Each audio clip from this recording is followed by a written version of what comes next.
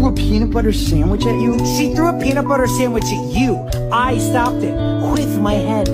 Grover, you are a good friend. Aw. Dude, I'm your only friend.